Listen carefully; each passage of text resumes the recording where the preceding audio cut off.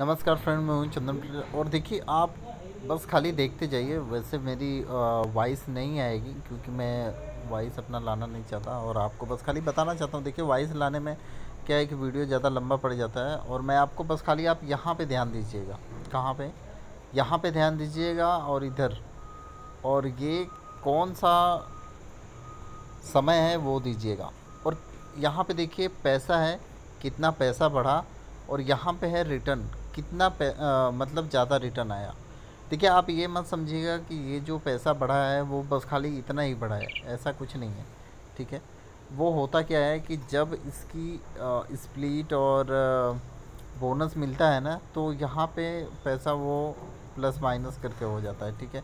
आप पहले ये ध्यान दीजिए देखिए वो ये वन डे का चार्ट है ये फाइव मंथ का चार्ट है सॉरी फाइव डे का चार्ट है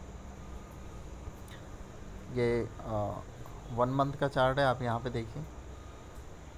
फिर उसके बाद यहाँ पे देखिए छः महीने में, बस खाली छः महीने में आप देखिए, पैंतालीस परसेंट का रिटर्न है गजब का।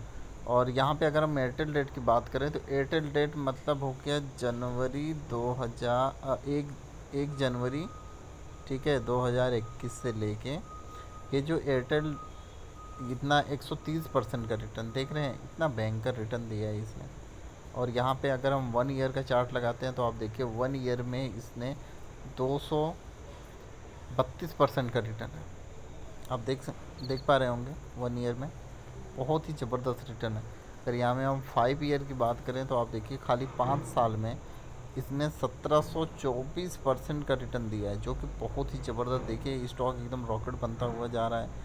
आप यहाँ पे मैक्सिमम पे देखें तो लगभग मैक्सिमम पे बारह हज़ार छः सौ तिहत्तर परसेंट का रिटर्न है। आप देखिए all time all time high है लेकिन इसका ज़्यादा समय नहीं हुआ है। आप यहाँ पे देखिए 2012 से थोड़ा और पहले का ये है। और उसके हिसाब से ये देखिए इतनी भयंकर तेज़ी इस स्टॉक में देखने को मिल रही है।